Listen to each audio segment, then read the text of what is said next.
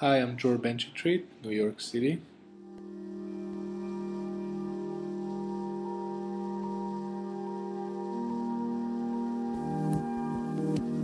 The QuaDror is a new type of structural joint. It's made out of four identical L-shaped elements connecting one to the opposing one. When lifting it up, it opens up and rely on geometrical locking. One of the categories that we're looking at is dividing, not just for the structural strength and also the ability to transform from flat to three-dimensional, but also the acoustic capability of the geometry.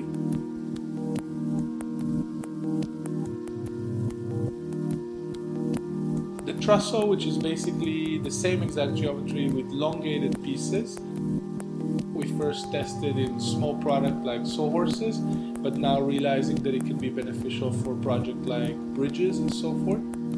The ability to aggregate and connect in several layers in several dimensions results in all kinds of architectural structures. But the main one is really the sheltering relief. Once we realize that over 1 billion people around the world are living in structure that cannot withstand the forces of nature, we realize that we can deploy very little, just the corner pieces, just the joint, and using material available in local environments.